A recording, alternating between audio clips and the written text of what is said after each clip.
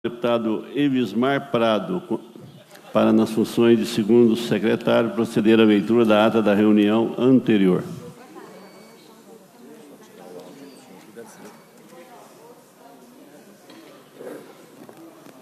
Ata da primeira reunião ordinária da segunda sessão legislativa ordinária da 19ª legislatura em 4 de fevereiro de 2020.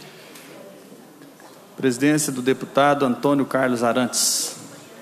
Às 14 horas e 5 minutos, havendo número regimental, o presidente declara aberta a reunião. O deputado professor Cleito, segundo secretário, procede à leitura da ata da reunião anterior, que é aprovada sem restrições. O deputado Carlos Henrique, segundo secretário, nas funções de primeiro secretário, lê a correspondência constante das mensagens números 58 e 59 de 2019, 60 e 66 de 2019, encaminhando os vetos números 14 e 15 de 2019 e 16 a 22 de 2020, respectivamente do governador do Estado e de ofícios. Isso posto, a presidência passa a receber proposições e a conceder a palavra aos oradores inscritos para o grande expediente, quando lhes são encaminhados os projetos de lei números 1374 de 2019 e 1375, 1377 a 1379, 1381, 1383, a 1387, 1400, 1407 a 1412, 1415 a 1418, 1420 e 1427 de 2020. Os requerimentos números 4533 a 4546, 4548 a 4554 e 4559 de 2020 o requerimento ordinário número 772 de 2020 e comunicações das comissões de segurança pública, duas, de cultura e defesa do consumidor de, da bancada do PT e das representações partidárias PL, Rede, PSOL, PROS e PCdoB e dos deputados Cássio Soares, André Quintão, Ulisses Gomes, Sábio Souza Cruz e Fernando Pacheco. Após questão de ordem suscitada pela deputada Beatriz Cerqueira, proferem discursos os deputados Fernando Pacheco, Sargento Rodrigues, João Leite e João Vitor Xavier. Não havendo outros oradores inscritos, passa-se a segunda parte da reunião em sua primeira fase, momento em que o presidente lê decisão da mesa desta casa que decide realizar consulta pública sobre a criação de dia de luta em memória das vítimas do rompimento da barragem 1 da mina do Córrego do Feijão em Brumadinho. Informa ao plenário que o projeto de lei 4323 de 2017 recebeu quanto ao mérito, parecer contrário das comissões de Educação e de Direitos Humanos, sendo considerado rejeitado nos termos do artigo 191 do Regimento Interno, e que o prazo para a apresentação de recurso inicia-se com a publicação do respectivo despacho. Informa ao plenário que foram aprovados nos termos do parágrafo único do artigo 103 do Regimento Interno os requerimentos números 4.533 a 4.538, 4.540 e 4.542 a 4.545 de 2019 e 4.559 de 2020. Da Ciência das Comunicações, hoje apresentadas, e defere o requerimento ordinário número 772 de 2020. Após questões de ordem suscitadas pelos deputados Virgílio Guimarães e Bruno Engler, pela deputada Andréa de Jesus, pelo deputado Mauro Tramonte, pela deputada Beatriz Cerqueira e pelo deputado Tito Torres, a presença verifica de plano a inexistência de quórum para a continuação dos trabalhos, encerra a reunião, convocando as deputadas e deputados para a ordinária de amanhã, dia 5 às 14 horas, com a ordem do dia regimental. Levanta-se a reunião. Muito obrigado, deputado Elismar Prado. Em discussão a ata. Não havendo quem sobre ela se manifeste, dou-a por aprovada. Não havendo correspondência servida, a presidência passa a receber proposições e a conceder a palavra aos oradores inscritos para o grande expediente. Com a palavra, deputado Coronel Sandro.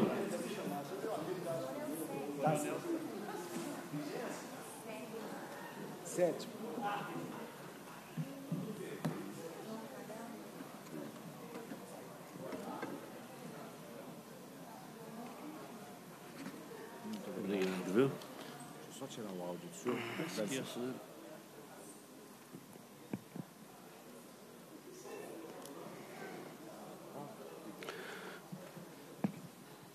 Senhor presidente, senhores deputados e deputadas, boa tarde. Desejo a todos que, na retomada dos nossos trabalhos em 2020, que todas as nossas aspirações e desejos sejam realizados e que a gente possa contribuir para que Minas Gerais tenha um início de recuperação fiscal e que as coisas melhorem para o nosso Estado. Prazer estar de volta aqui mais uma vez com todos vocês.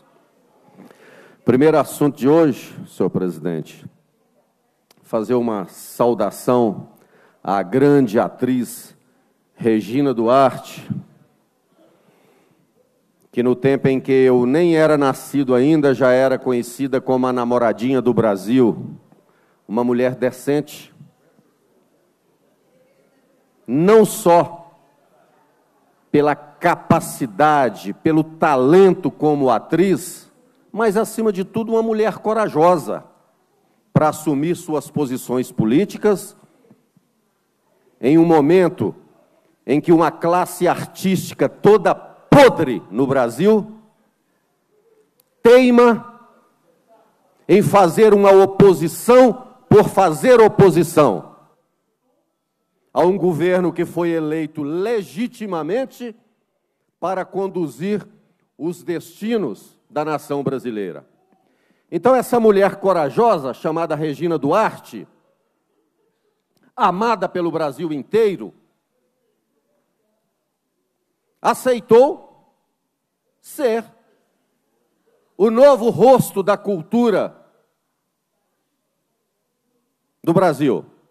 Será a nova secretária de Cultura, porque aceitou o convite do presidente Bolsonaro para lá estar. Mas, para a classe artística rouaneteira, aquela que só gosta de mamar na teta do governo com recurso público, porque quem tem talento, seja cantor, ator de teatro, qualquer arte que seja, ele bota o espetáculo na praça e o público vai. Mas o artista que não tem talento, ele precisa de dinheiro público. E assim se acostumou essa classe artística podre, podre e podre, que não demonstrou um pingo de respeito a essa grande mulher brasileira, que aceitou o convite para assumir a Secretaria de Cultura e vem sofrendo ataques de toda sorte por, principalmente, pelo autoproclamado presidente do Brasil, chamado José de Abreu. É, não é para rir, não, ele se autoproclamou presidente do Brasil. Um ser abjeto, que não respeita ninguém. Ele, ao se referir a essa grande mulher chamada Regina Duarte, ele diz coisas que eu vou repetir aqui, porque eu estou lendo na matéria. Primeiro, não dá para respeitar quem apoia Bolsonaro, nem considerar ser humano um fascista. Isso aqui, ó, é um dos máximos representantes da classe artística de esquerda, que está com dodói até hoje, porque tomou varada na urna, e está perdendo recurso público, que esse bando de vagabundo só sabe utilizar recurso público. E nos ofende a todos, nos classificando como fascistas. E assim ele chama a Regina Duarte de fascista.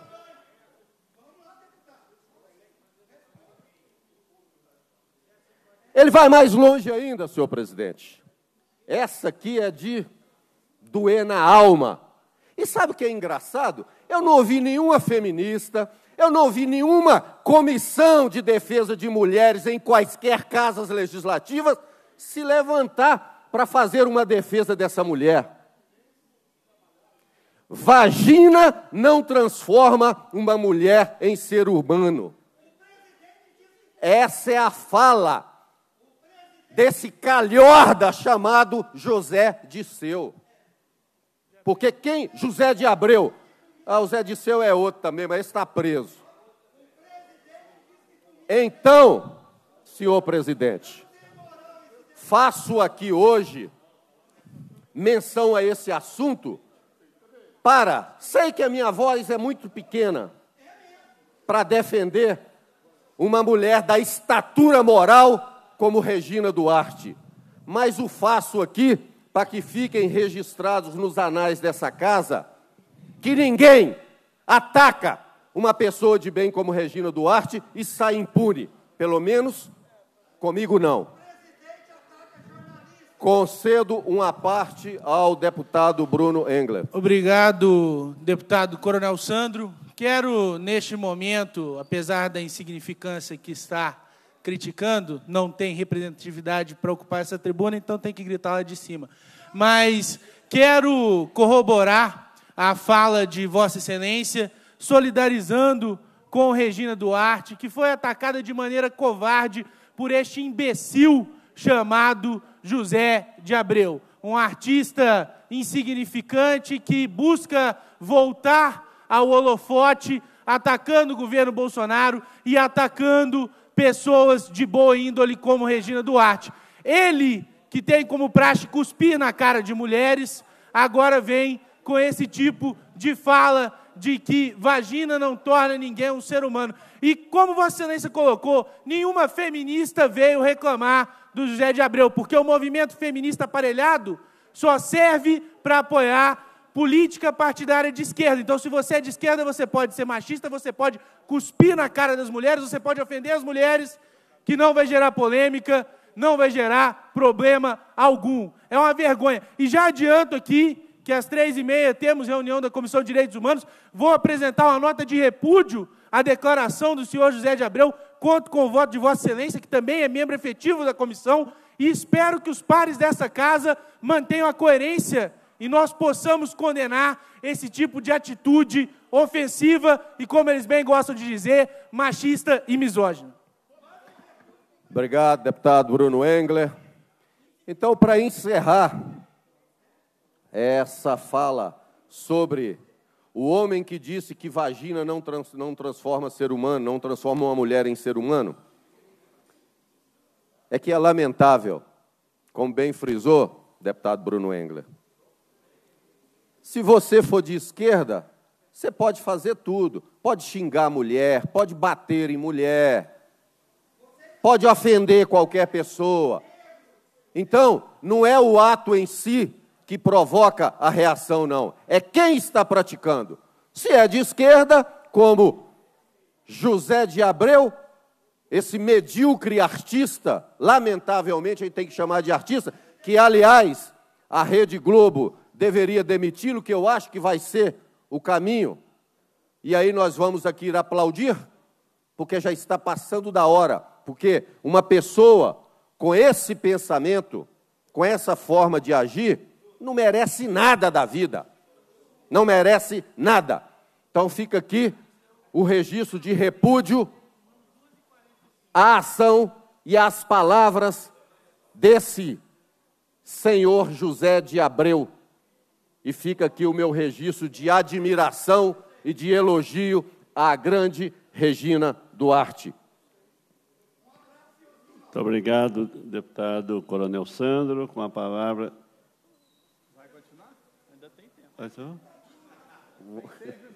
Hã? Fique à vontade. É, tem mais dois, dois assuntos aqui. É que a gente às vezes vai falando, fica mosca voando, fazendo barulho, aí a gente. É, quero parabenizar o governo Bolsonaro, legitimamente eleito por quase 60 milhões de brasileiros. Então, não adianta chorar, pode ofender, pode chamar de fascista, pode. Nós fomos eleitos democraticamente. E queiram ou não, vamos governar até o fim desse mandato e de quebra mais alguns outros. É, sobre a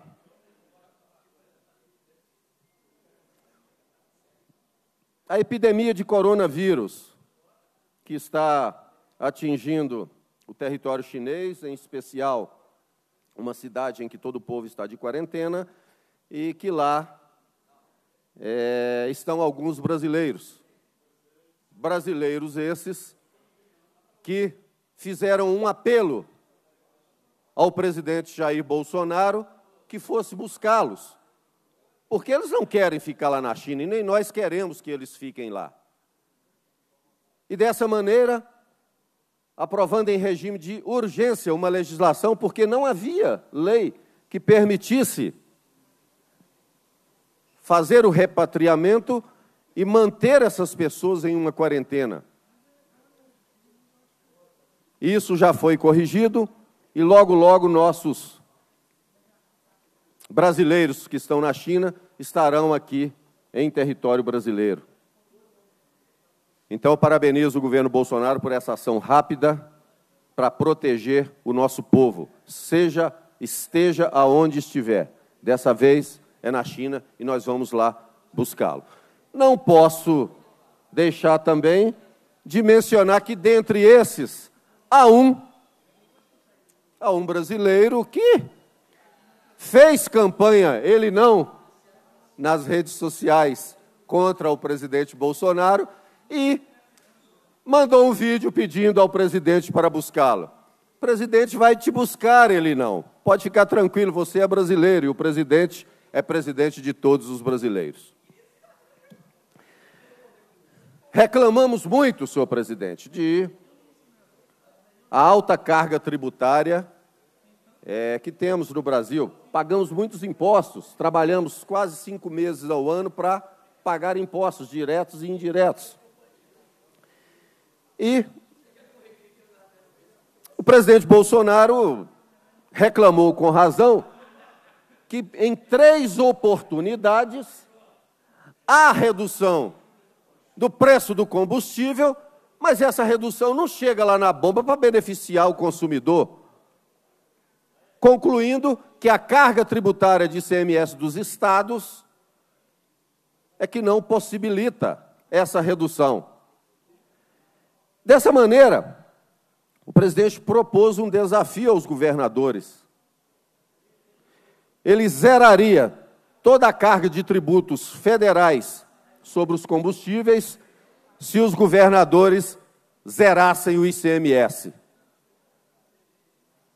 Está faltando governador macho nesse país. E governadora também que seja, não vou falar macho, né? Uma governadora que tenha coragem. Vamos baixar? Minas Gerais? Vamos baixar? Vão aceitar o desafio do presidente? Por que não? O povo não aguenta pagar tributo mais, ninguém aguenta pagar imposto. Pelo pessoal do novo, imposto é roubo. Imposto é roubo. Nesse tamanho da carga tributária brasileira. Então está lançado o desafio de um presidente que tem coragem de fazer e tem coragem de falar. E não pense que ele vai refrescar, não, viu? Começou no primeiro dia assim e vai até o último dia. Porque enquanto essa oposição insana, essa esquerda que foi baleada e perdeu a eleição, não aceitar que perdeu a eleição, vai continuar assim, desse jeito. E o presidente não cala, ele realiza. Estou esperando a notícia de escândalo de corrupção nova. Não tem, não tem escândalo novo. Tem os velhos que estão acontecendo. Só isso já é um avanço para o Brasil. Muito obrigado, senhor presidente. Meus amigos e amigas deputadas, muito obrigado. Muito obrigado, deputado Coronel Sandro. Com a palavra, deputado Evismar Prado. Senta, senta do lado de cá. Aí você fica mal. Estou nessa aí do combustível, estou junto com você. Então fala aí. Vou falar.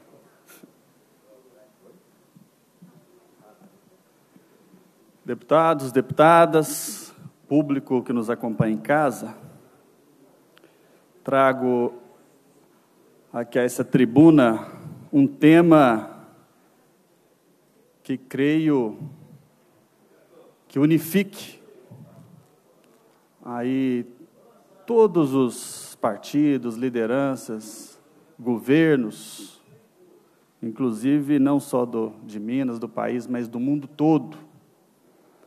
Gostaria de ter usado essa tribuna no dia de ontem, não foi possível, mas quero repercutir esse assunto hoje. Né? Ontem foi o Dia Mundial de Combate ao Câncer. Né? Uma data não para se comemorar, mas na verdade que serve como um chamado né? para que possa haver mais conscientização acerca desse, dessa temática, da importância de enfrentar o câncer no mundo todo, que afinal de contas, essa doença devastadora que é o câncer mata cerca de 10 milhões de pessoas em todo o mundo. E está ligada a uma série de fatores: estilo de vida, alimentação, o uso indiscriminado dos agrotóxicos. Inclusive, o Brasil é o país que mais utiliza os agrotóxicos no mundo todo. Temos aqui estudos, inclusive, que mostram que cada brasileiro, em média, levando-se em conta a quantidade de agrotóxico que se usa no país, no Brasil, tomam cerca de 5 litros de veneno por dia. 5 litros de veneno. E a maioria desses agrotóxicos são proibidos no mundo todo. Estados Unidos, Europa, Alemanha são proibidos. E aqui não. No país, no Brasil são permitidos. E nós estamos participando de uma mobilização pela redução do uso dos agrotóxicos, um projeto de iniciativa popular, e contra o chamado aí projeto de lei do veneno, PL do veneno, projeto de lei 6.299 de 2002 que flexibiliza ainda mais o uso de agrotóxicos no país. Ao contrário de restringir, como ocorre no mundo todo, o Brasil, na contramão desse processo, está flexibilizando agrotóxicos que já, já foram banidos em boa parte do mundo. É, inclusive, é um dos fatores que leva à morte milhares de trabalhadores e aumenta a incidência de câncer, principalmente em trabalhadores rurais, trabalhadoras rurais, crianças, pessoas que vivem em determinadas regiões do país. Enfim, quero destacar essa data, o Dia Mundial de Combate ao Câncer, dizer que é uma, um trabalho que nós estamos desenvolvendo já há algum tempo, tanto eu como o deputado federal Wellington Prado. Quero parabenizar a luta do deputado federal Wellington Prado, que é o autor de um requerimento importantíssimo para a criação da primeira comissão especial de combate ao câncer. Será a primeira comissão, já está em fase preparatória aí para que ela seja instalada na Câmara dos Deputados. É com um trabalho aí é, realmente destacado do deputado federal Wellington Prado é, para a criação dessa comissão, que o Brasil precisa melhorar os seus números a gente sabe que 90% dos cânceres, dos tipos de câncer, principalmente os mais malignos, tem cura. Isso depende muito do diagnóstico precoce, do acesso ao tratamento, né? Enfim, inclusive a lei 3896, que teve um trabalho também decisivo do deputado Elton Prado, lá na Câmara dos Deputados, a chamada Lei dos 30 dias, que justamente assegura aos pacientes do SUS, né, do Sistema Único de Saúde, aí com suspeita de câncer, o direito de realizar os exames de biópsia em no máximo 30 dias, a, partir do pedido do médico. Então isso é fundamental, esses exames que comprovem aí é, a existência do câncer, para que seja feito em 30 dias. Isso faz a diferença crucial entre a vida e a morte. Então, queremos melhorar os nossos números. E no Brasil, morre por volta de sete pacientes a cada dez né, de casos malignos.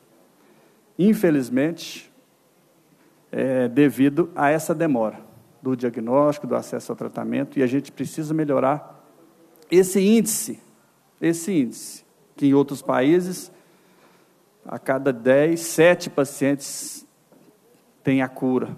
Falo nos casos mais graves, né? Realmente os casos é, do câncer maligno mesmo, os casos mais graves. Enfim, nós temos aqui uma prestação de contas.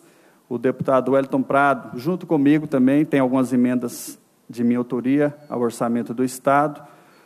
Já destinou aí 53,5 milhões. 53,5 milhões para 30 hospitais do câncer em todo o estado de Minas Gerais, somados aí os recursos que nós colocamos de 2016 a 2020. Então já somou aí 53,5 milhões, além de recursos também para é, o Hospital do Amor em Barretos, que atende cerca de mais de 370 municípios de Minas Gerais. Quero destacar aqui é, recursos, esses recursos foram colocados por mim, né, são recursos ao orçamento do Estado, é, foram 5 milhões para a Santa Casa de Belo Horizonte, 5 milhões para a Santa Casa, é, para o Instituto de Oncologia, que realiza anualmente mais de 2,5 milhões de atendimentos. Então, o trabalho da Santa Casa é crucial, realiza muitos investimentos, tem um trabalho ali extraordinário, né? Parabenizar ali o grande trabalho do provedor da Santa Casa, o senhor Saulo Levindo Coelho, um trabalho brilhante, extraordinário, que a Santa Casa realiza e nós ficamos felizes de poder contribuir, né? indicando aí 5 milhões é, para a Santa Casa para a construção do Instituto de Oncologia. Inclusive o deputado Arton Prado recebeu aí o prêmio. É, Prêmio Esperança, né, pelas emendas e a contribuição decisiva é, aí nesse trabalho para a construção do Instituto de Oncologia em Belo Horizonte. Colocamos, já foi pago, adquirido, são recursos já, né, que foram utilizados, 15 milhões de recursos para o Hospital do Câncer em Uberlândia, um hospital que realiza aí 7 mil, é, atende 7 mil pacientes de mais de 80, 80 cidades do Triângulo Mineiro e Alto Paranaíba. Então, esse recurso foi fundamental. É, com esse recurso foi adquirido o acelerador linear, o equipamento de primeiro mundo, construção da sala especial, ampliação da radioterapia, construção do centro cirúrgico, construção do centro de, tra de transplantes de medula óssea, que foram recursos destinados pelo deputado Elton Prado ao Hospital do Câncer. Quero parabenizar o trabalho de todos os voluntários do grupo Luta pela Vida, um trabalho extraordinário lá do Hospital do Câncer, em Uberlândia, que atende aí mais de 80 cidades de toda a região do Triângulo Alto Paranaíba. 14 milhões conquistados pelo deputado Elton Prado, já garantidos é, no Fundo Nacional de Saúde, através de emenda, para o Hospital do Amor de Barretos, né? Esse hospital atende aí 327 municípios mineiros, municípios de Minas Gerais. Né? São mais de 10.213 pacientes que geraram, aí só em 2018, que são números consolidados aqui, 70.497 atendimentos, 100% pelo Sistema Único de Saúde. Né? São 277 leitos é, no Hospital do Amor, que recebeu 14 milhões de emendas do, do deputado Elton Prado, e serão adquiridas também as carretas, né, é, que farão um trabalho itinerante aí pelos municípios, inclusive em Minas Gerais também, para fazer a prevenção contra o câncer de mama, né, realizar o exame nas mulheres aí, inclusive atendendo aí centenas de municípios de Minas Gerais. É, 2 milhões para a construção do Hospital do Câncer de Betim Contagem. 2 milhões para a construção do Hospital do Câncer, para contribuir com a, com a construção do Hospital do Câncer do Noroeste Mineiro. Né, emendas aí por meio do Fundo Municipal de Saúde de UNAI. A expectativa é que essa unidade no Noroeste Mineiro atenda em média 640 pacientes por dia além de 180 pacientes na quimioterapia e realize 196 exames. O Centro de Diagnóstico e Terapia atenderá aproximadamente 1.016 pessoas. 1,4 milhão para o Hospital do Câncer de Patrocínio, recursos já foram pagos, utilizados. Quero parabenizar o vereador é, Tiago Malagoli, né, que tem um papel decisivo, que solicitou do deputado Elton Prado a indicação dessas emendas, vereador Tiago Malagoli de patrocínio. Foram destinados também, garantidos já, pagos, 1,3 milhão para o Hospital do Câncer em Uberaba, né, o Hospital do Triângulo, é, Hélio Angote, Hospital do Câncer do Triângulo, Hélio Angote. E outros 3 milhões para hospitais é, que são referências no tratamento do câncer em Minas Gerais. São muitos hospitais, tenho aqui toda a lista, é, não vou fazer a leitura, mas foram distribuídos aí, né, ao todo foram 30 hospitais do câncer só em Minas Gerais. Gostaria de conceder a palavra Obrigado pela parte. Eu gostaria de complementar em cima desse tema de tratamento de pacientes com câncer. Eu gostaria de dizer que acabamos de ter uma reunião da mesa da Assembleia com o procurador de Justiça, doutor Toné, e a equipe diretora dele, e nós colocamos um tema lá bastante interessante.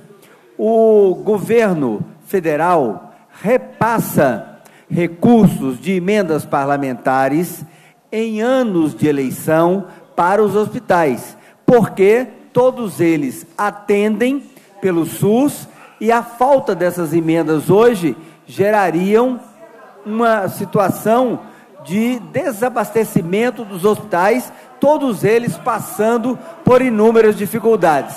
Então, nós colocamos o tema e o presidente Agostinho Patrus, o doutor Toné, vão chamar o, a AGE e o secretário de saúde para que essa questão seja equalizada aqui em Minas Gerais. Porque a Secretaria de Estado da Saúde, ela está se negando a colocar as emendas nos hospitais. Como nós temos eleição ano sim, ano não, com certeza o prejuízo para os hospitais e principalmente para os pacientes será muito grande. Então, o presidente Agostinho Patrus vai estar comandando essa força-tarefa para poder convencer o, os juristas do governo do estado a fazer como o governo federal, que repassa as emendas para os hospitais, independente de qualquer situação eleitoral. Quer dizer, são ações continuadas, os tratamentos não param, os medicamentos precisam ser comprados, a tabela do SUS tem aí uma quantidade enorme de anos que ela não tem mudança, e essa questão dos, eh, da falta de repasses em anos eleitorais por parte do governo do Estado e da Secretaria de Estado da Saúde causará e está causando um prejuízo muito grande para todos os pacientes. Então, nós estaremos atentos a essa questão, olhando a questão para todos os hospitais aí de Minas Gerais que estão sendo prejudicados e que a maioria dos deputados dessa Assembleia quer repassar as suas emendas para os hospitais de câncer. Agradeço aí o a parte e parabenizo o senhor deputado e o seu irmão, que realmente tem feito um trabalho muito bonito para a questão dos hospitais oncológicos nas localidades onde os senhores é, são votados e a população acredita aí em vocês, e com isso a gente vê que o atendimento pode estar melhorando. Muito obrigado pela parte. Continue dessa maneira e vamos aí convidá-lo para fazer parte também dessa força-tarefa para convencer o governo do estado a deixar que as nossas emendas possam ir para os hospitais nesse ano de 2020, que nem eleição é, para deputados ou para o governo do estado ou para senadores estão acontecendo nesse momento. Muito obrigado. Obrigado, deputado Arley Santiago. Quero parabenizar por essa luta, Conte comigo também nessa articulação, nessa mobilização. Quem tem câncer tem pressa, a gente precisa salvar vidas, sim. Eu espero que a gente possa sensibilizar o governador, né, para que ele possa mudar esse procedimento e acatar as nossas emendas. Já coloquei, inclusive, já foi, foi dito aqui, 5 milhões para a Santa Casa de BH, foi pago. Né? E queremos também que esse recurso possa ser aproveitado todos os anos, independente independentemente da realização dos pleitos eleitorais. Conte comigo, deputado Arlen Santiago, parabéns, né? Espero que todos os pares dessa casa possam, juntamente conosco, fazer essa articulação, esse esforço perante o governo do Estado, para que a gente possa mudar é, aí essa, essa prática, né, para que ele possa aceitar as emendas que serão de fundamental importância para o funcionamento né, é, dos hospitais do câncer e o tratamento também oncológico aí em todos os municípios que têm unidade né, de tratamento. Enfim, quero agradecer, presidente, parabenizar o deputado Wellington Prado, todos aqueles, temos aqui o deputado doutor Wilson, que tem um trabalho extraordinário também na defesa dos pacientes com câncer. Ontem foi o Dia Mundial de Combate a essa doença e precisamos concentrar cada vez mais esforços, independentemente das nossas disputas aqui, políticas, partidárias, ideológicas, que esse é um assunto importantíssimo que deve unir a todos, né? um assunto muito importante e de interesse público. Então, quero aqui deixar um pouco a prestação do nosso trabalho e parabenizar a luta do deputado Elton Prado. Nós já colocamos aí, de 2016 até 2020, 53,5 milhões, 53,5 milhões para 30 hospitais do câncer em Minas Gerais, além do Hospital do Amor em Barretos, que atende mais de 370 municípios mineiros. Obrigado, presidente.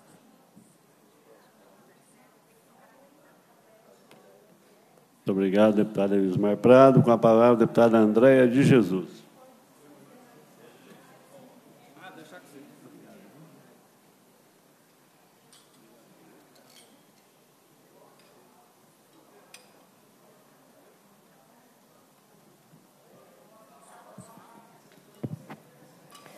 Boa tarde a todas e todos. Boa tarde. Cumprimento a mesa, no, na pessoa do presidente, as minhas colegas que estão aqui compondo esse plenário, as deputadas Leninha, Rosângela. Cumprimento os meus colegas aqui também, deputados, servidores aqui da casa, boa tarde. Bem-vindo a esse novo início de sessão legislativa. Pedir licença às mulheres mais velhas, mulheres negras, que a história de resistência do movimento negro nos trouxe até aqui, ocupando essa casa.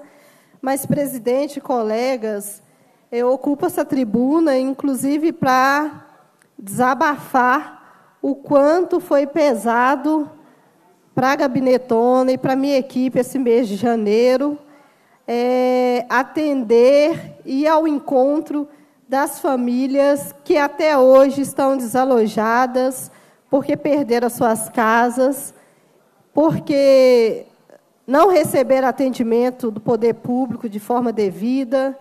Então, eu quero trazer aqui uma reflexão e ainda esse sentimento de potência de quem passou por diversas cidades, inclusive daqui da região metropolitana, Sabará, Esmeralda, Contagem, Ribeirão das Neves.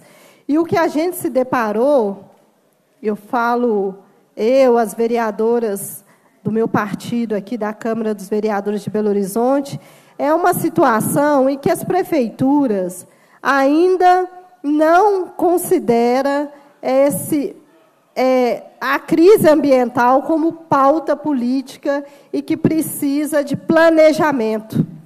O que a gente ouve quando a gente procura os órgãos responsáveis para fazer o atendimento das famílias, defesa civil, vigilância sanitária, zoonoses, o atendimento primário da saúde, que é garantir a vacina.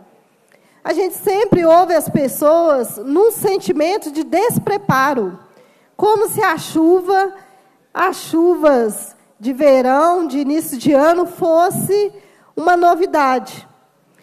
E aí sempre apontam que há um aumento do volume de chuva. Isso é fato.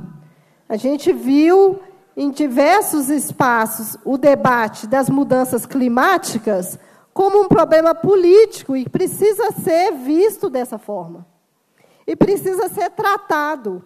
Então, para discutir o aquecimento global que por muitas vezes a gente viu o próprio presidente da República debochando dessa pauta, é, desqualificando órgãos importantes que estão demonstrando que o aquecimento do mar tem sim aumentado o volume de chuvas e as cidades aonde estão extremamente concretadas são as cidades aonde esse volume de chuva também traz alguns estragos.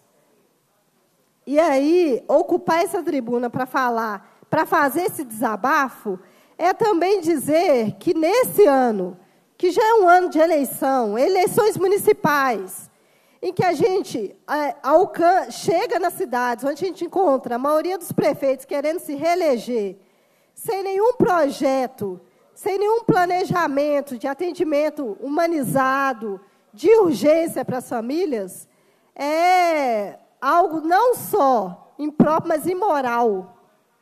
Nós temos hoje cidades como Sabará, que eu estive lá, ouvi as pessoas, a gente deparou com uma cidade que foi tomada pelo Rio Arrudas, é um rio que atravessa Contagem, Belo Horizonte e cai lá em Sabará, esse, o volume de água que desceu do Arrudas é o, é o, o excesso de água que não consegue é, é, penetrar no solo aqui de Belo Horizonte. Então, o problema que a mídia fez tanto destaque para Belo Horizonte, tem que perceber que o problema é metropolitano e mais do que isso. O Estado de Minas Gerais precisa de atenção. E aonde que eu quero chegar, assim? Em Sabará, a cidade toda foi coberta. Encontrei com um padre da cidade que perdeu boa parte de tudo que tinha no santuário.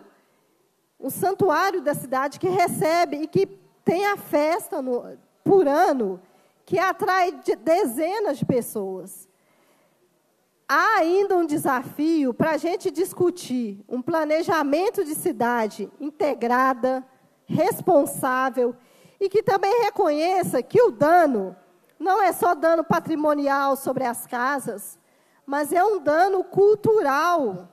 Muitas cidades tiveram a festa de São Sebastião, de Oxós, interrompida, porque a própria cidade não conseguiu dar resposta de forma urgente e ágil, para que a população pudesse viver a sua é, manifestação religiosa. Isso, é, para alguns que discutem a cidade sobre, sobre a lógica da especulação imobiliária, pela exploração das grandes construtoras, que saiu concretando a cidade toda, não respeitando os rios, não respeitando a natureza, não é, aproveitando que a capital é cheia de córregos e por isso nós temos uma cidade viva e que precisa de espaço de ser pensada para esses, como eu e muitas mulheres que vêm para Belo Horizonte trabalhar e que muitas vezes na história deixamos a nossa força de trabalho. Essa cidade arrecada muito com a força de trabalho de quem está na periferia, de quem está na região metropolitana, mas concentra demais a resposta para a política pública na capital e no centro. Arrecada da periferia, arrecada da região metropolitana, sustenta essa cidade financeiramente, mas a resposta para aqueles que estão aqui entregando sua força de trabalho não chega na região metropolitana e muito pior. Nós vimos aqui um discurso do governador, esse chuchu cozido em água, que não conseguiu nem sequer mobilizar essa casa para uma resposta desse executivo para que as cidades, e aí eu quero trazer os números, mais de 196 cidades foram atingidas com a falta de planejamento e com o descuido desse governador em trazer os prefeitos para pensar essas cidades. Não existe responsabilidade de um ente federado.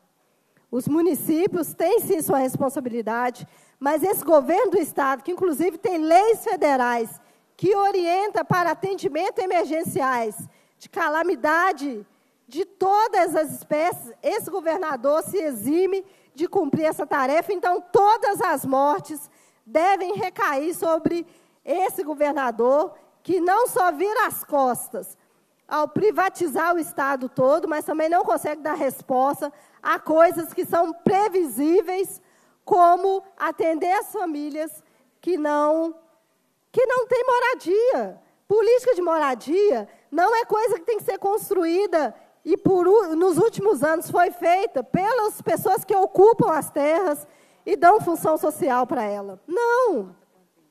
Política habitacional podia ter evitado várias mortes. Tantas prefeituras como o governo do estado têm o sangue e a vida dessas pessoas nas mãos quando impedem é, que essas de apresentar uma política habitacional decente. Mas, a, mas é importante também dizer que algo que impressionou nós que passamos em várias cidades é ver o voluntariado. O quanto as pessoas são muito solidárias e chegam em lugares onde a defesa civil demora horas para chegar. Que atende as famílias garantindo alimento, porque quem perdeu o fogão, deputada Leninha, quem perdeu geladeira, não tem condições de preparar o alimento no dia seguinte. Ou a pessoa morre porque a água o levou, ou ela morre porque ela não tem como comer no outro dia. E esse atendimento tardio das prefeituras não se sustenta. Tudo, tudo que se arrecada de imposto, de tarifa, é fruto do trabalho e principalmente a maioria de mulheres que hoje têm atendido políticas em que o Estado deixa de cumprir, como garantia de creche, garantia de assistência aos idosos, garantia de assistência às crianças que hoje, muitas delas ainda estão fora da escola, porque o, a, a, a educação integral não chegou para todos. E essa conta cai sobre as autoridades. Né? Achar que política de assistência social é, des, é, é, é despesa é uma coisa tão, tão retardada e tão retrógrada que é inadmissível hoje depois de 42 anos de luta, ter que estar aqui falando do óbvio para muitos aqui que ainda querem se colocar como candidato a prefeito. Ele precisa ter a honra e o compromisso com a dignidade das pessoas. Dou a parte aí para o deputado Cristiano da Silveira. André, obrigado. Quero te cumprimentar pelo tema que você traz aqui, importância, relevância é, para que seja discutido aqui na Assembleia. Eu te peço a parte aqui, André, para me manifestar a respeito da declaração do governador Romeu Zema em entrevista à TV Globo News. Eu não vou comentar a entrevista como um todo, mas eu quero destacar uma parte que me chamou a atenção: a insensibilidade do governador, a falta de percepção e sensibilidade social. Quando o repórter pergunta para ele como o governador vê os problemas que estão acontecendo no governo federal de Bolsonaro sobre a questão dos pagamentos do INSS, do FGTS, é, das milhares de famílias que aguardam para receber o, o problema do Bolsa Família, ele simplesmente responde que que bom que ele fica feliz com esses problemas. Problemas se fosse a corrupção, né? Como se o governo Bolsonaro não tivesse que responder uma série de, de indagações e questionamentos relacionados à corrupção. Desde quem matou Marielle, Alqueiroz, até mesmo o uso dos recursos públicos, como foi recentemente o uso de aeronaves pelos seus ministros. Você veja que um dos assessores do ministério utiliza a aeronave para fazer turismo, para passear, custos para os cofres públicos. E ele me demite lá o rapaz, os filhos do presidente, amigo então desse sujeito, fazem o lobby para que ele seja recontratado, apenas com 300 reais a menos salário, e com a repercussão negativa, porque o país todo teve uma repercussão negativa, ele vai e demite novamente o que tinha sido admitido, demitido. É o governo do recuo, né? O governo Bolsonaro é igual a escola de samba, tem que ter uma área para recuo. E para falar em avião, veja bem, os Estados Unidos deportando os brasileiros. nas piores condições e nas maiores humilhações. Algemados, apenas com uma garrafa d'água. E o governo Bolsonaro diz: não, o Trump está certo, os Estados Unidos estão certos, né? se está lá de maneira legal, tem que mandar embora. Quero lembrar que na época do governo do presidente Lula, nós mandamos um avião para ir buscar os brasileiros que lá estavam. E nós dizíamos que e foi adotado o princípio da reciprocidade. O governo brasileiro passou a tratar os americanos assim como os americanos nos tratavam.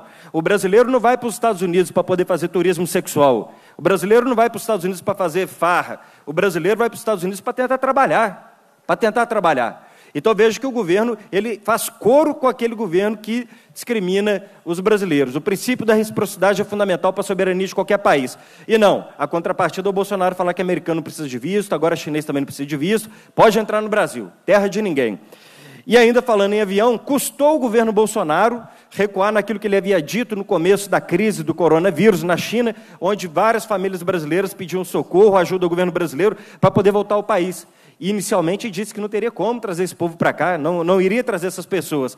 E agora recua e manda o avião. Para concluir aqui, Andréia, eu foi, teve uma fala aqui na, na tribuna sobre a questão da, da cultura. Eu quero convidar o povo brasileiro, o povo mineiro, a assistir o documentário é, Democracia em Vertigem. Documentário que concorre ao Oscar é, na categoria Melhor Documentário na Academia Americana de uma produtora brasileira, a Petra Costa, e conta direitinho o que foi o processo do golpe no Brasil. A todos aqueles que gostam, entendem da boa cultura, o Brasil concorre ao Oscar e é um filme que vale a pena assistir. Obrigado, André. Conclua, deputada, por favor. A parte para a deputada Leninha. O tempo já. Tem 22 segundos. Queria pedir a compreensão, presidente. É dois minutinhos somente. Acho que o próximo orador, deputado Carlos Pimenta, vai fazer também a gentileza. Eram duas questões é, para a gente importante na fala da deputada André, que desde ontem diversos colegas usaram a tribuna para falar, por exemplo, das, da população vítimas da chuva, né, que é um equívoco na nossa parte. A chuva não faz vítima. A chuva é, é algo do bom, né, que produz alimento no campo e é tão importante para todos nós.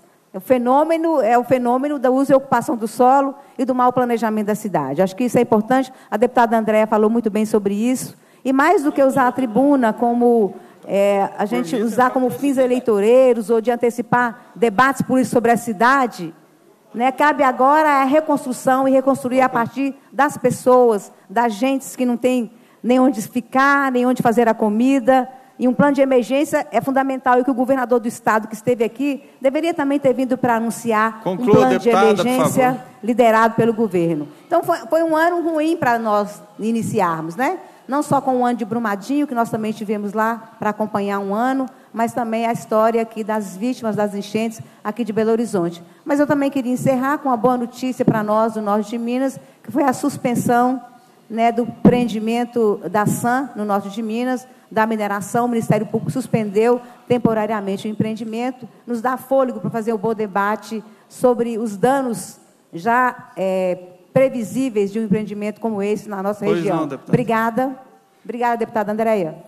Está encerrado. Obrigada, só para encerrar. Só despede. É, mas é dizer que estaremos ocupando as ruas e ainda exigindo que esse plano emergencial apareça e que cada família que perdeu o ente querido, mas também que perdeu seus bens, deve continuar exigindo que essas autoridades ressaçam essas pessoas.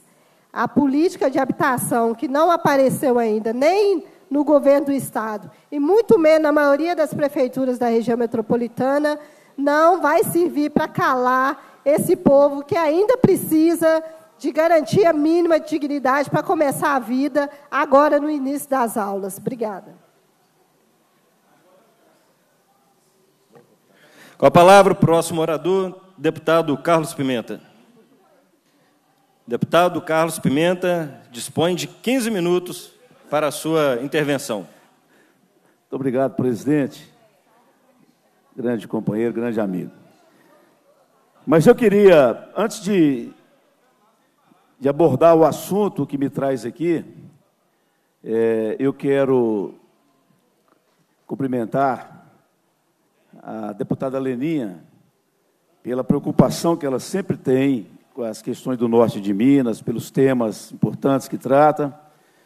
E essa notícia da, da interrupção pelo Ministério Público Estadual e o Ministério Público Federal das ações da SAM, isso mora que existe sanidade, pelo menos, é, no trato de questões iguais a essa. Não é a troco de empreendimentos dessa natureza que nós vamos correr o risco de ter, né, naquela região do norte de Minas, uma empresa que possa vir a causar um mal tão grande àquela população.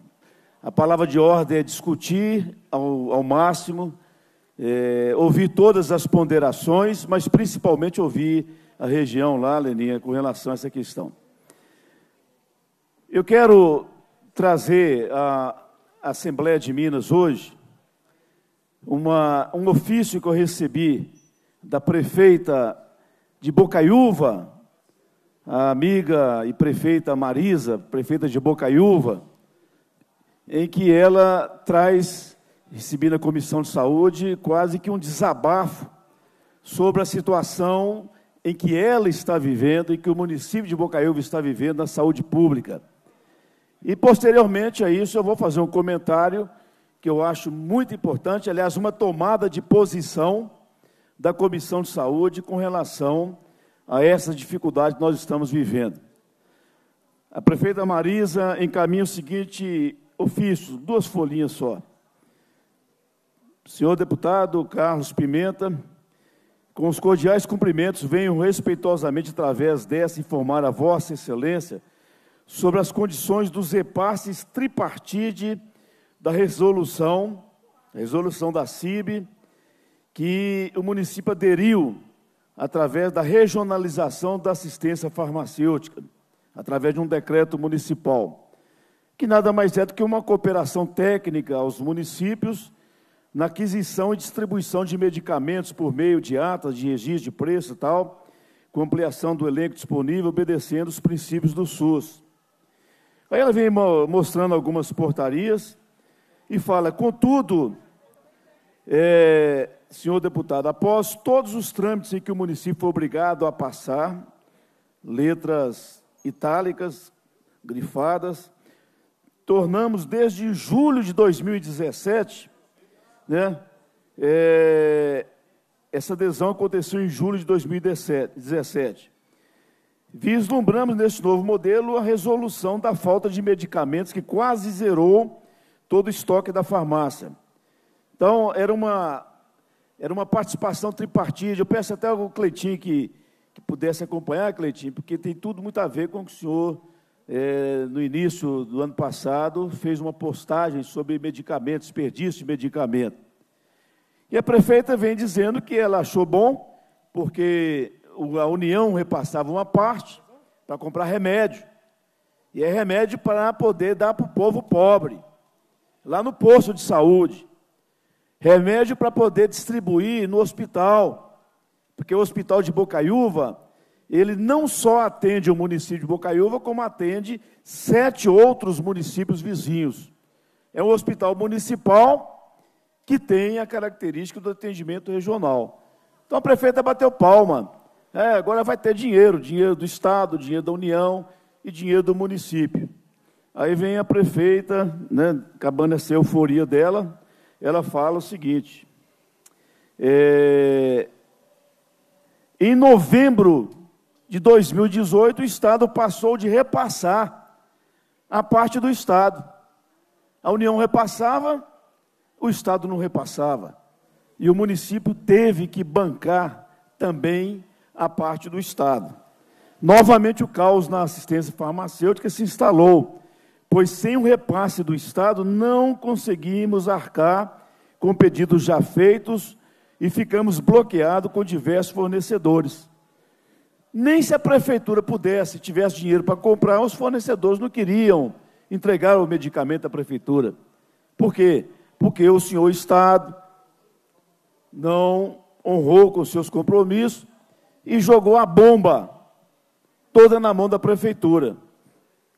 O Estado nos deve 144 mil reais só de remédio.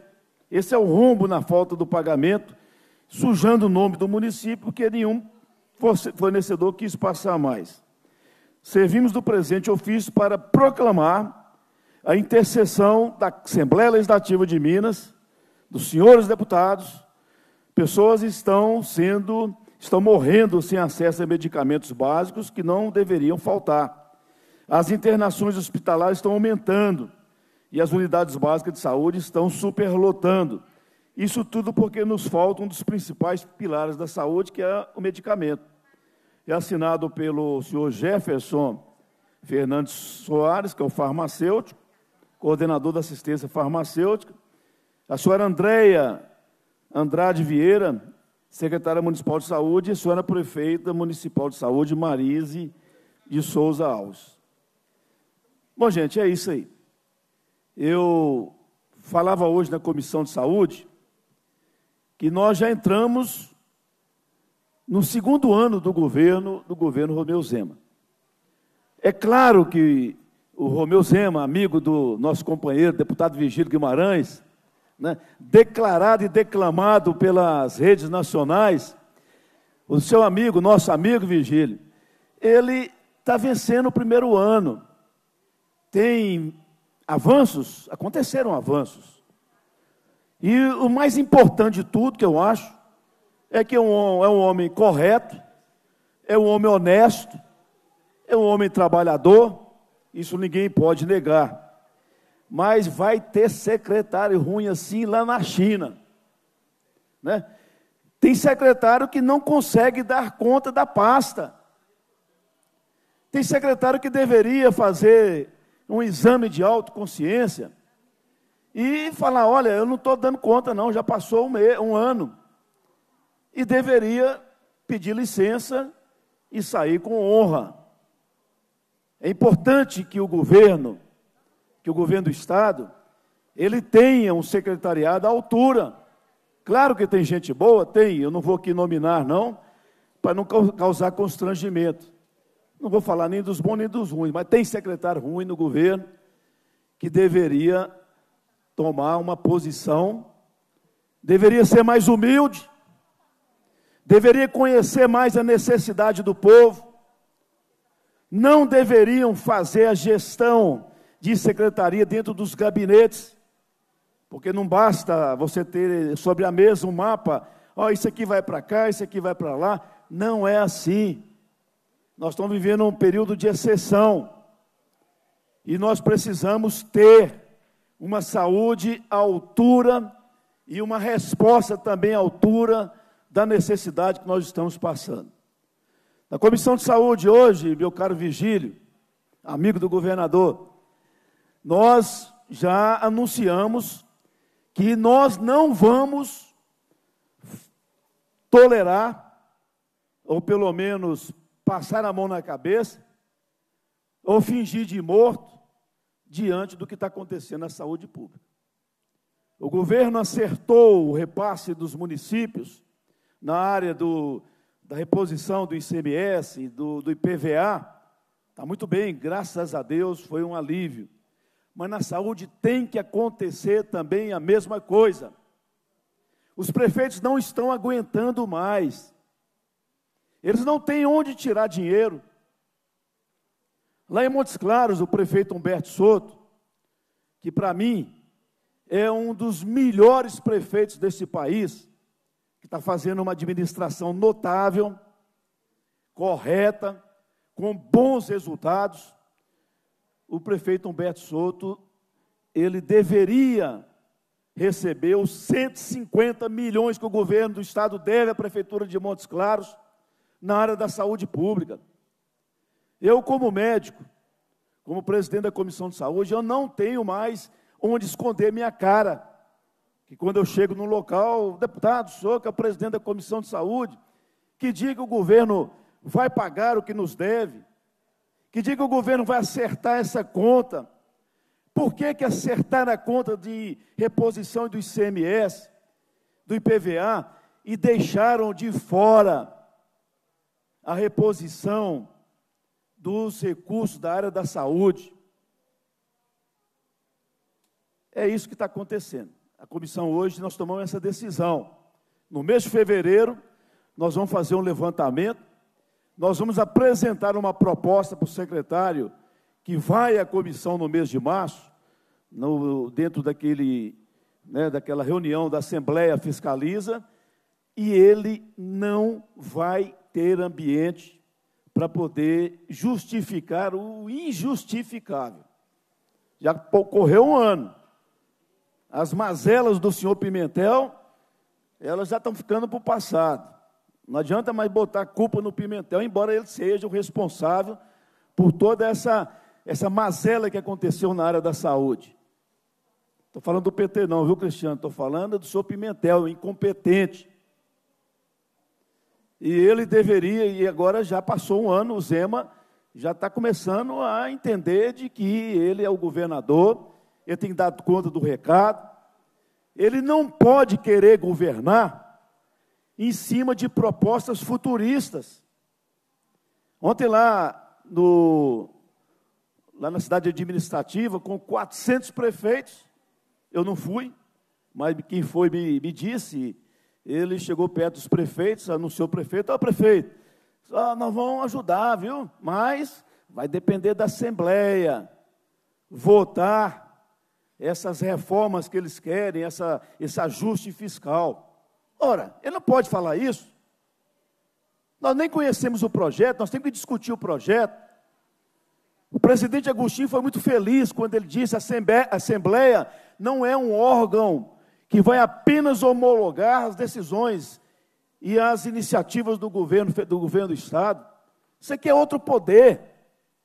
Aqui é a caixa de, de retumbância das questões sociais do nosso Estado. Se o dia que tirarem de mim a prerrogativa e a oportunidade de poder discutir e votar livremente, sem nenhuma pressão, eu rasgo meu diploma de deputado e volto para o meu consultório para poder exercer ou ficar no resto da minha vida com dignidade. Eu não aceito o cabresto, eu não aceito a imposição, eu aceito sim o diálogo. Porque, como eu disse, o que me move a ajudar esse governador é a sua retidão, é a sua coerência e a sua vontade de acertar. Mas é preciso que a gente encontre os caminhos para que a gente chegue através né, de soluções para ajudar o nosso governo. Eu tenho aqui outro, infelizmente, eu não, talvez eu não vou ter mais tempo, um outro ofício, lá do nosso hospital universitário, Vigília e Leninha, lá do norte de Minas, né, mostrando o, a importância social desse hospital.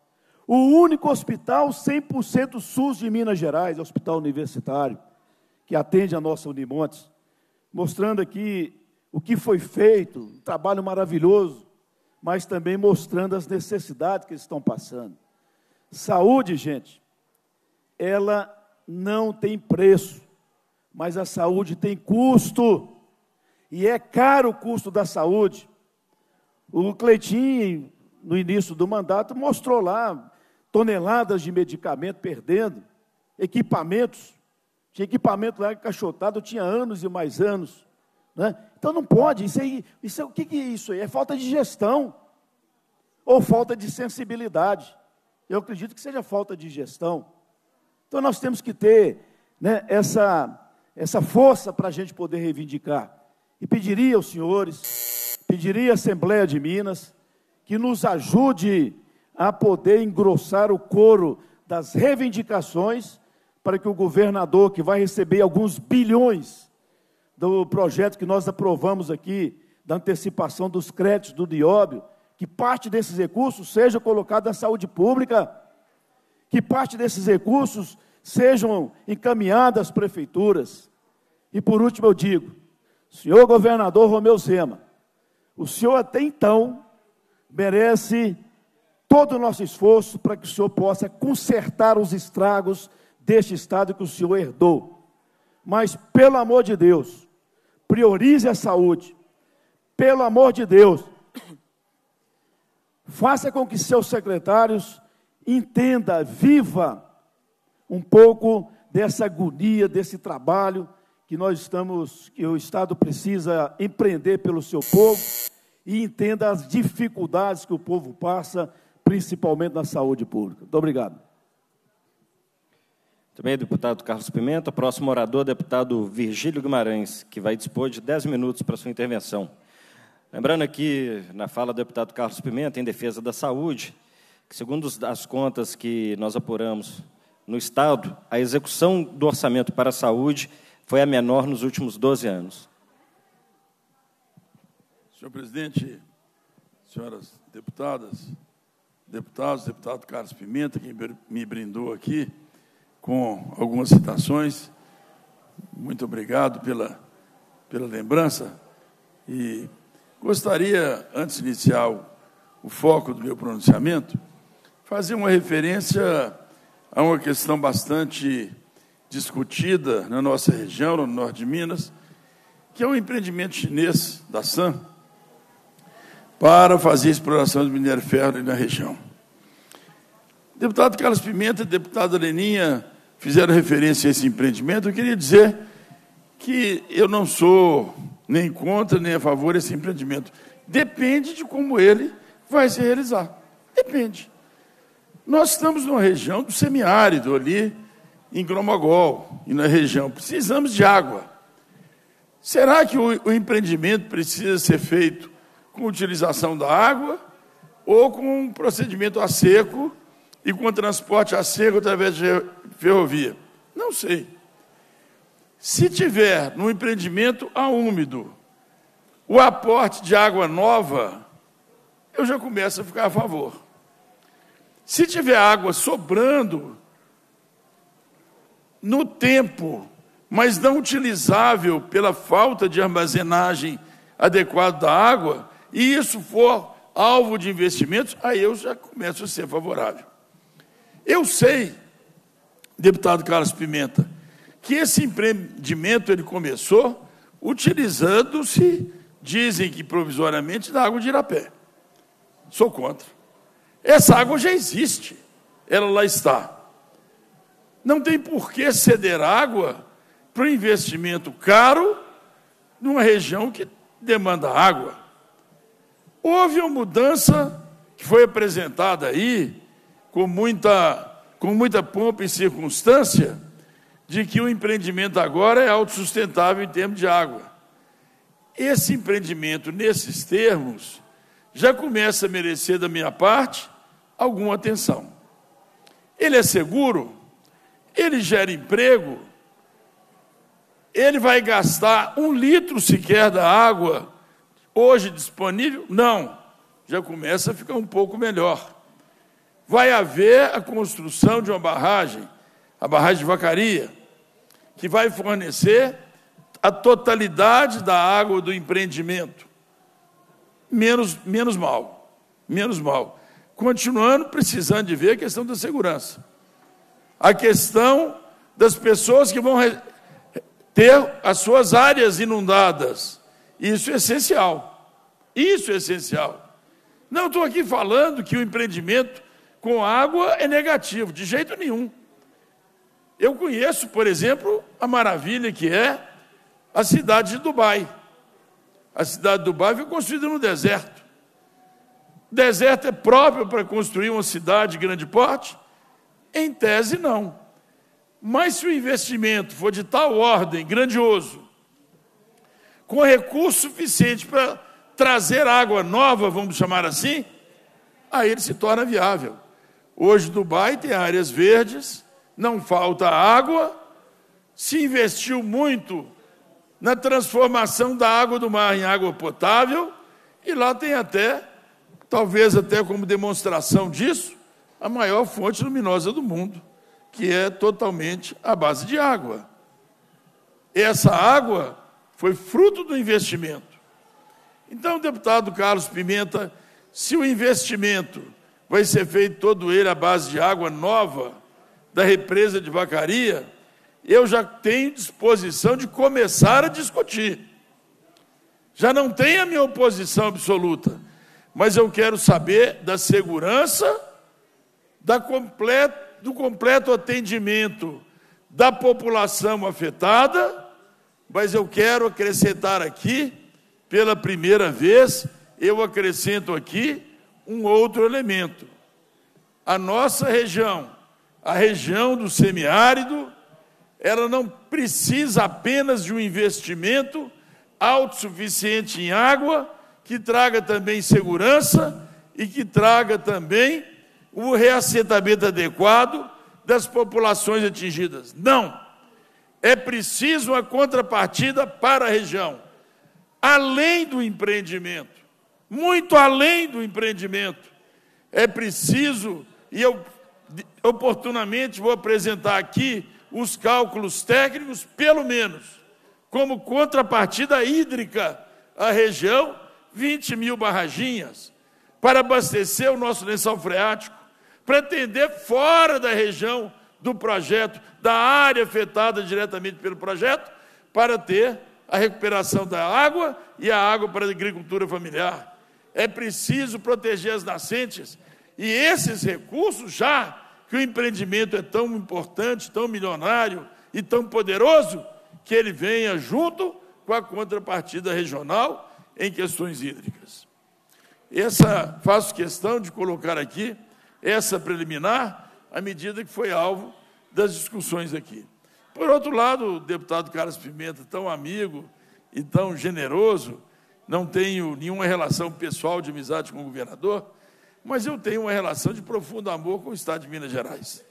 Isso aí não há dúvida nenhuma, isso aí se sobrepõe a todas as questões, sobretudo quando agora começamos a discutir a, o conjunto das medidas econômicas do reajuste que, fiscal que nós precisamos de fazer e das relações com o governo federal.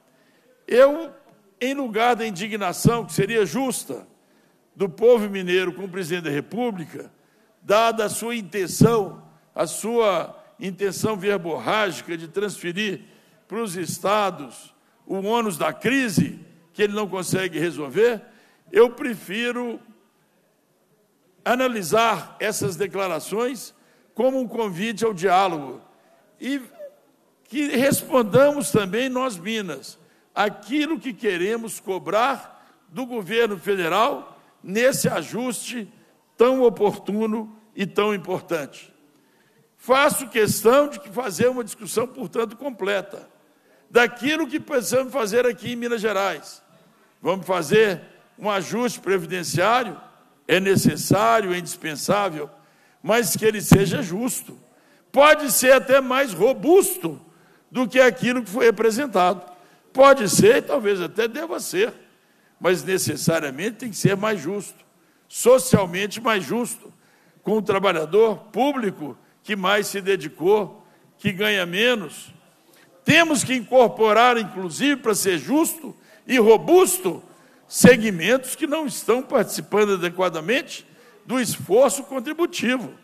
E eu faço questão de colocar aqui, que fez parte da reforma previdenciária do governo Lula de 2003, a contribuição que deveria ser feita pelos, é, pelos, pelo, pelo pessoal inativo, é, aposentados e pensionistas, que hoje não fazem essa contribuição, mas que estão previstos na Constituição brasileira.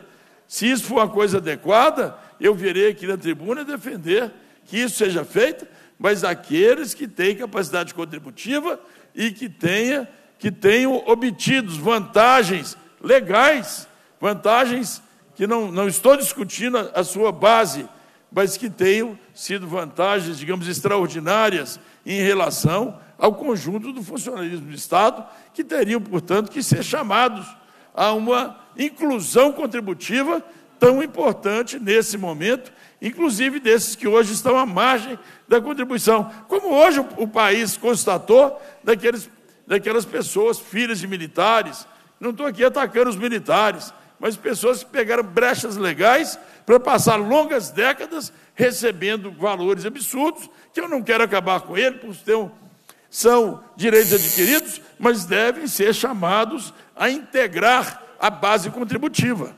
Então, eu queria dizer aqui, que eh, está na hora de chamar o governo federal também. Queremos cobrar de imediato o imposto sobre exportação de minério. Houve uma queda no preço do minério em função do coronavírus. Vamos analisar a capacidade de pagamento sem afetar nossas exportações. Mas devemos analisar isso de um diálogo aberto com o governo federal, já que eles nos chamam. Já que eles nos chamam. Queremos fazer também a regulamentação da compensação das exportações, da isenção das exportações. É um conjunto de discussões que devemos fazer e assim termino, porque gastei uma parte do meu tempo com a questão do investimento chinês ali na exploração do minério, tão necessária, exploração tão necessária, desde que correta, do minério de ferro no norte de Minas, também dizendo que devemos ampliar a base do nosso ICMS para incluir o chamado cyberespaço, aquelas contribuições dos, desses mega desses, desses megas empresas multinacionais que estão aí aferindo recursos no mundo inteiro sem dar a sua contribuição adequada, Facebook, WhatsApp, é, Google e tantas outras que não pagam imposto em lugar nenhum e são defendidas pelo governo americano, porque só aquele fisco é que se aproveita daquilo que eles aferem no mundo inteiro. Então, senhores deputados e deputadas, o momento é de um aprofundamento para Minas Gerais e para o futuro, não é esse governo, é o futuro do Estado, para discutir as soluções perenes que nós tanto precisamos, inclusive chamando o governo federal para dar a sua contribuição, já que ele teve a ousadia de convocar Minas Gerais e os demais estados, que ele também participe das soluções tão necessárias. Esgotado o prazo destinado à primeira parte, a presidência passa à segunda parte da reunião, com a primeira fase da ordem do dia, compreendendo os atos da presidência, as comunicações e apreciação de pareceres, requerimentos e indicações. Estão abertas as inscrições para o grande expediente da próxima reunião. Comunicações do deputado Sábio Souza Cruz, comunicando que a denominação do bloco por ele liderado será Bloco Minas Tem História, indicando os deputados Glaicon Franco, Charles Santos, Neilando Pimenta, Douglas Melo e João Vitor Xavier para vice-líderes do referido bloco. Do deputado Gustavo Valadares, comunicando a constituição do Bloco São Minas Gerais, composto pela bancada do PSDB e pelas representações partidárias PSC, Novo, Avante, Solidariedade e PSB e sua indicação para líder do referido bloco. Ciente publique-se. Com cópia às comissões e às lideranças.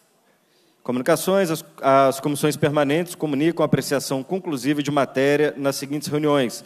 Comissões de Agropecuária e de Esporte e de Transporte, reuniões ordinárias de 4 de 2 de 2020. Comissões de Assuntos Municipais, de Saúde, de Educação e de Prevenção e Combate às Drogas, reuniões ordinárias de 5 de 2 de 2020. Ciente, publique-se. Pela ordem, deputado Gustavo Mitre.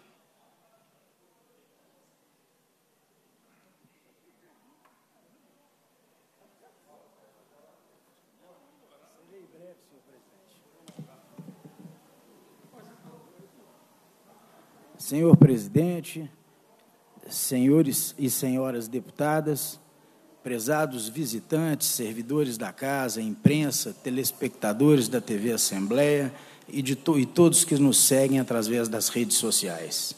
Esta é uma semana é, diferenciada para o município de Itaúna e para toda a região. É uma semana que nós temos uma grande alegria em compartilhar com todos os mineiros e principalmente os, os habitantes da região de Itaúna. Será inaugurado o Centro de Oncologia Josias Gambarelli.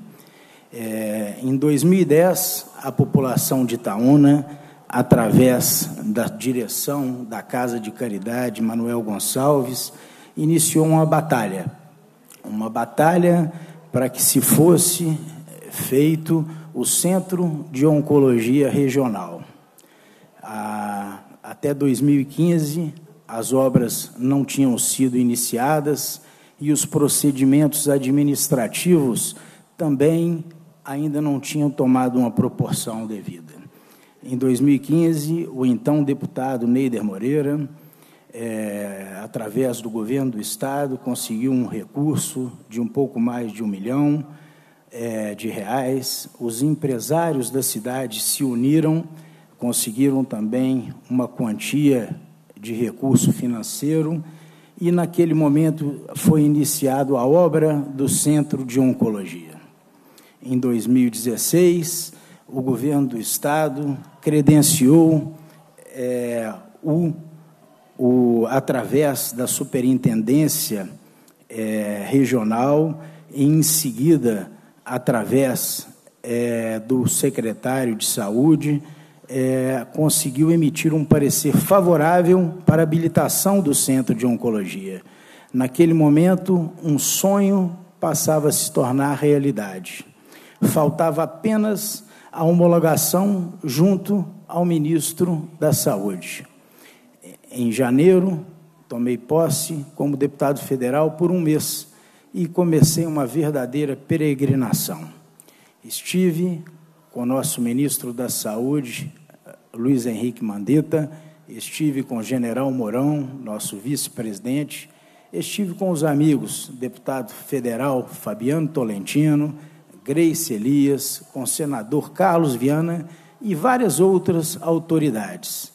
E esta peregrinação, não só minha e de várias autoridades do município de Itaúna, incluindo-se aí o prefeito Neider Moreira, resultou que no dia 17 de dezembro, eu recebi um telefonema da minha amiga deputada federal Grace Elias, dizendo que naquele momento a portaria 3.404 teria sido assinada pelo ministro Mandetta.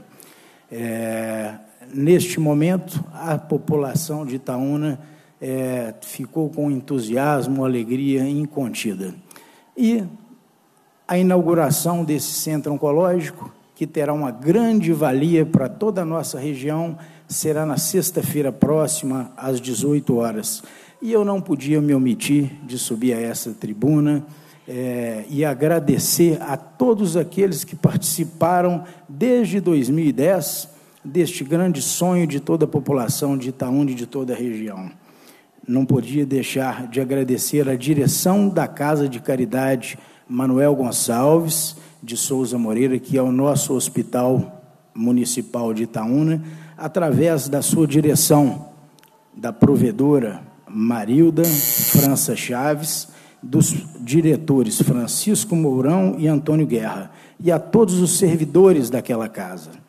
Gostaria também de parabenizar a todos os voluntários e servidores da Avassi, através de sua presidente, Expedita Imaculada Lopes Gomes, que Deus abençoe a todos que contribuirão até aqui, aos que vão trabalhar no dia a dia da entidade e, de maneira muito especial, aos futuros pacientes, que eles recebam o melhor acolhimento e o mais profissional tratamento, para que tenham muitos anos de vida com muita saúde. É isso, presidente. Muito obrigado pela palavra e desejamos sucesso a toda a equipe do, da Casa de Caridade Manuel Gonçalves. Muito obrigado.